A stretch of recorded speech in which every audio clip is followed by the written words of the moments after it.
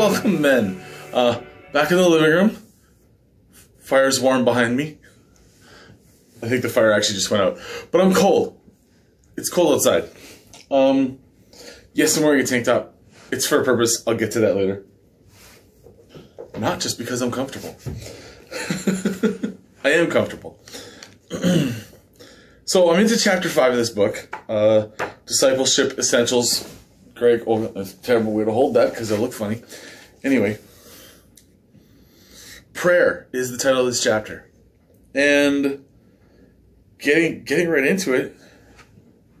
The first part this reads is this: Prayer is a transparent dialogue. It's a conversation with God in which we address Him and in quiet are addressed by Him. There are four types of prayer, which are sur- surmised by the acronym ACTS. My voice is starting to go. I've been teaching a National Lifeguard course all week, and so forgive me if I'm uh, if I sound a little hoarse. It's just because I've been talking a lot.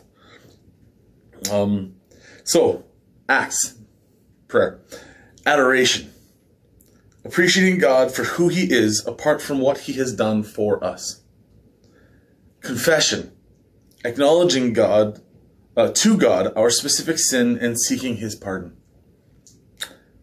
Thanksgiving, appreciating God for His benefit to us, for the things He's done, given us, right? Supplication, fancy word. Uh, interceding for ourselves or others according to God's will, right? So that's an acronym ACTS uh, adoration, confession, thanksgiving, and supplication. Um,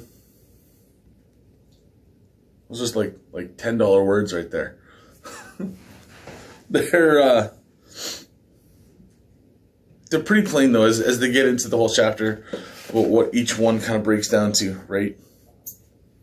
And the memory verse for this, I mean, it's, it's very fitting, is uh, Matthew, uh, Matthew chapter 6, verses 9 through 13.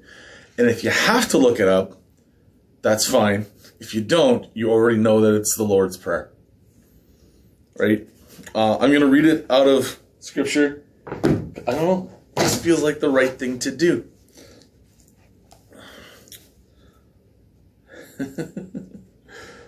All right, so Jesus is talking with his disciples. Just a little background there, right?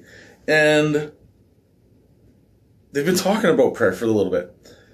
And when they go to him and they, uh, you know, mid conversation, and they keep asking about prayer and how to do this and what it should look like. And he talks about not being like hypocrites and this and that.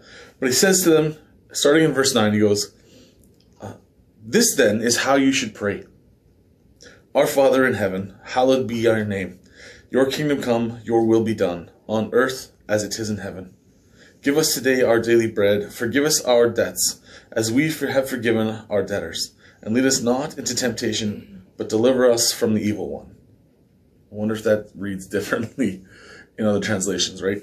Uh, they bring that up, and then they say, you know, jump jump over to the, the study portion of the book to Luke chapter 11. So if you want to jump there real quick, because this should be very similar sounding. Um, Oh, that's 13. Here's Luke 11, right?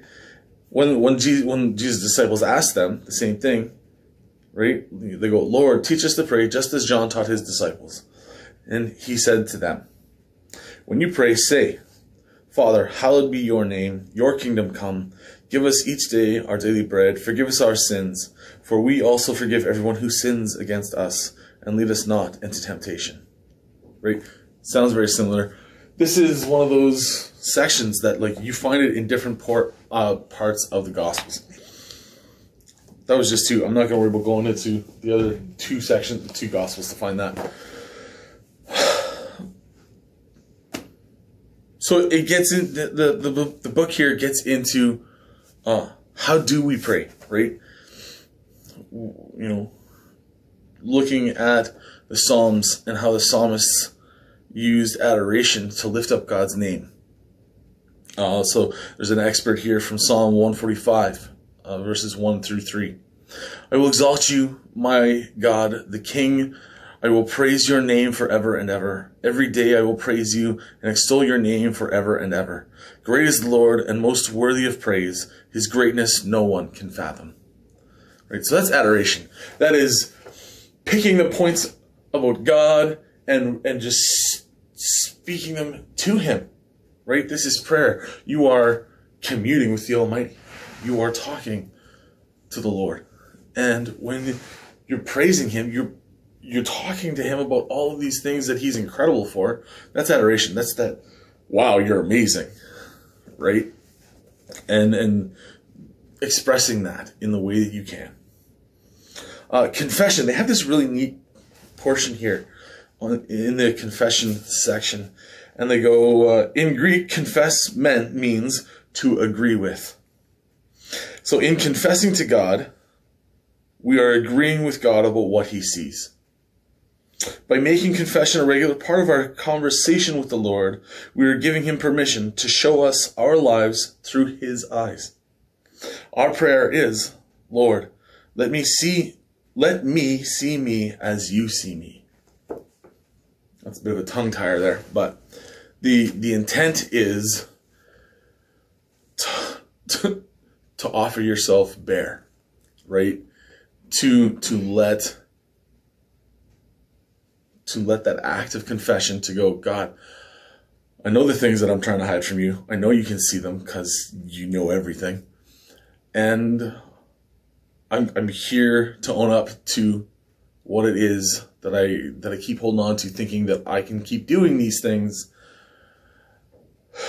And it's not, you know, it's not like these things are against your will when you full on know they are, right? When you, when you pretty much understand your actions, the way you interact with people, your spouse, your children.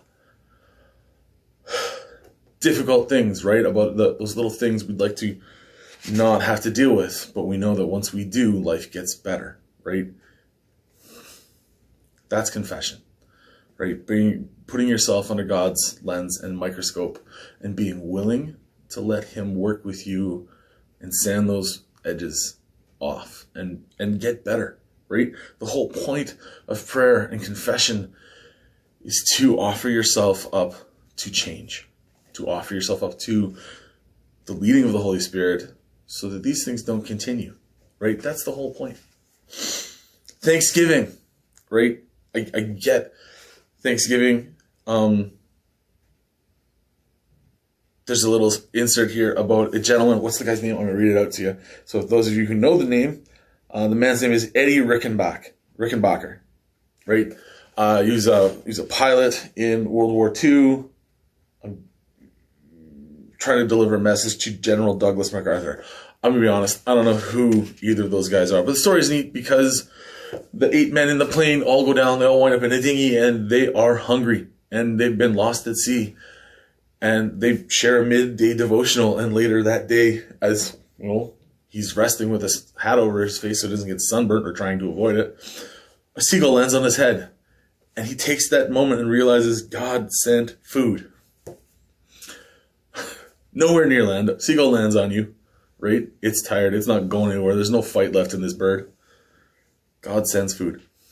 Thanksgiving. The man never forgot to thank God for that. Spent a lot of time probably doing it. The final one is supplication, right?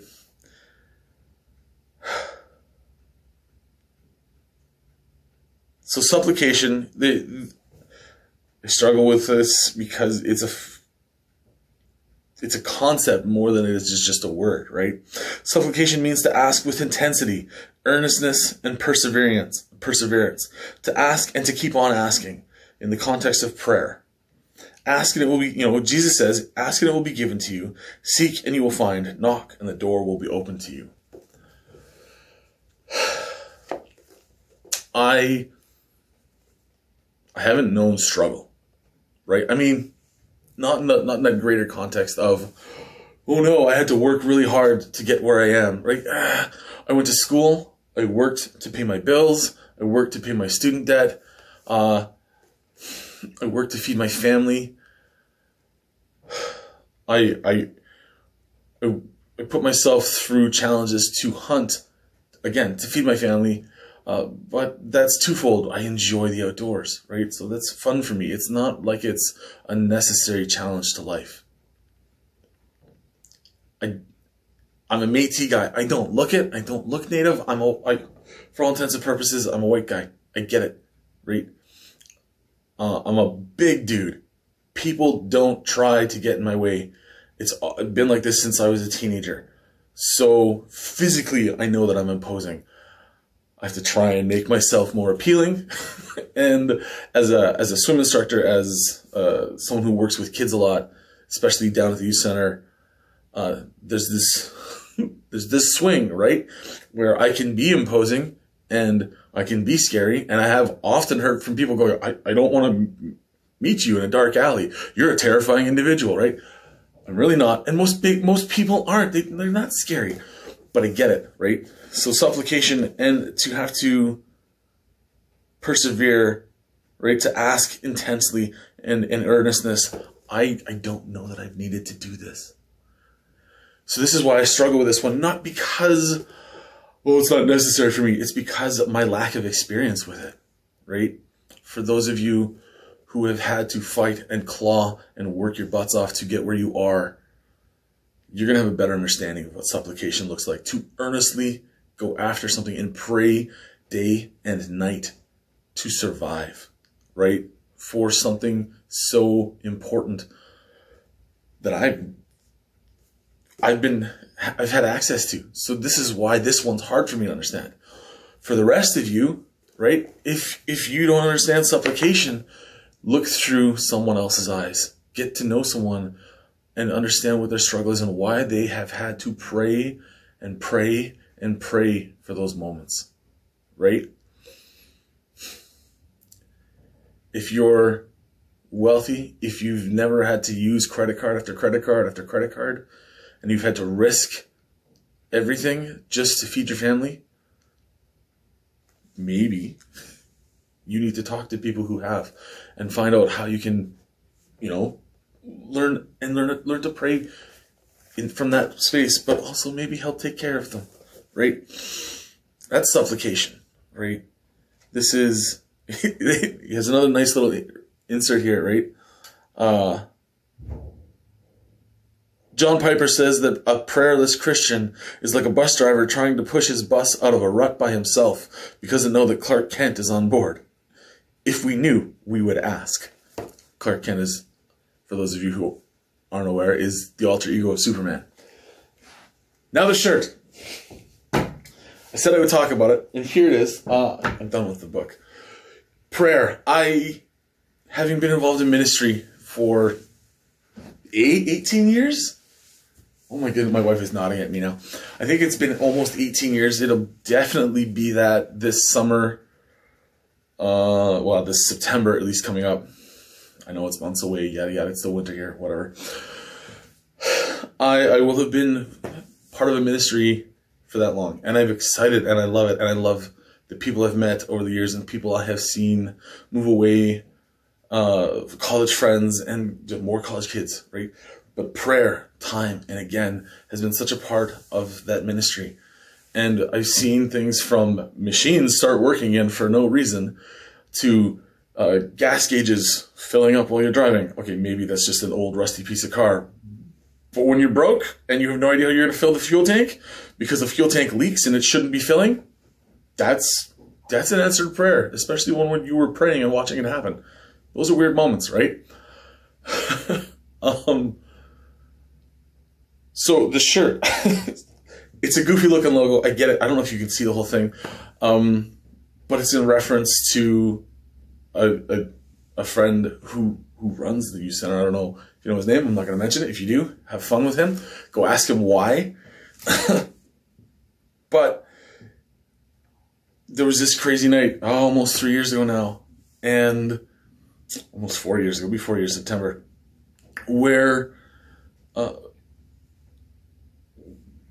we had an incident. We we smell breath. We used to smell breath. We don't anymore, right? Nobody smells anything.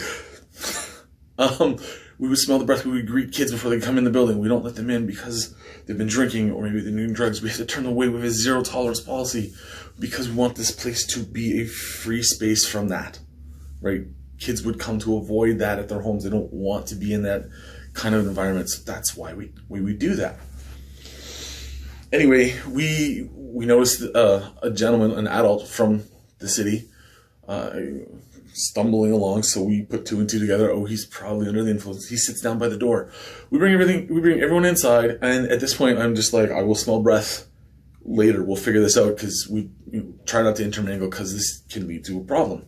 So I turn to one of our other volunteers, say, hey, let's go pray that this gentleman just ups and goes home and leaves, right? This is the plan. No sooner does this volunteer turn and go, where did this guy gets up and runs off? And I do mean run. Up and gone, right? Like prayer answered right then and there.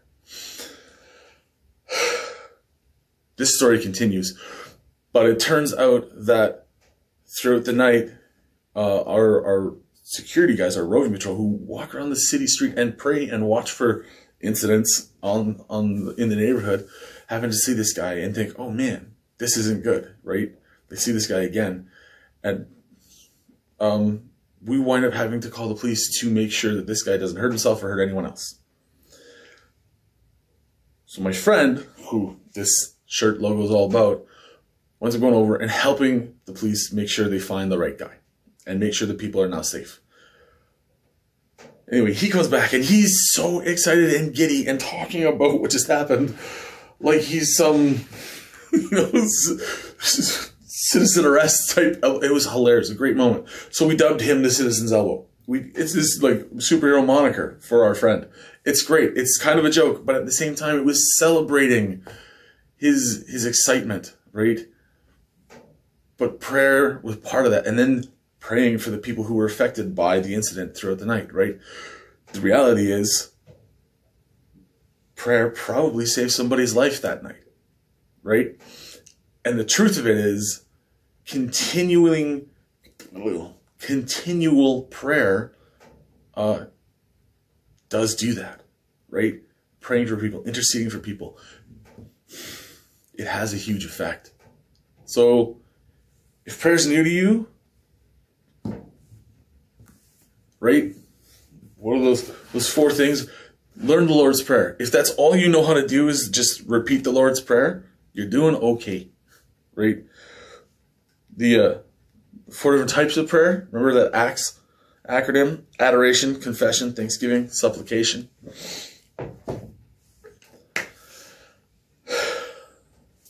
It's a big deal.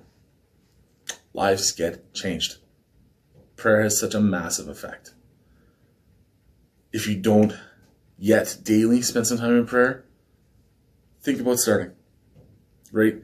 As a Christian, as a man of faith, you want to be going to the source, right? You want to be going to God to get that community, right? To to mature, to grow, whatever, right? Pardon me, sorry. Um, be excited about it, right? Be angry about it. God desires your attention, right? the very least, an emotional response is a good one, right? He can handle you yelling at him. He can handle you whispering and awkwardly mumbling your way through a prayer. He hears it all. Thanks for tuning in. Love you guys. I'm going to pray. Lord, we thank you. We, we are astonished by your greatness. What a blessing it is to be able to talk openly and freely about who you are and how you are affecting change in our lives. I pray that all the men, young, old, the boys, would get to know who you are and that they would make daily prayer a part of their lives. Jesus' name, amen. Have a good night, guys.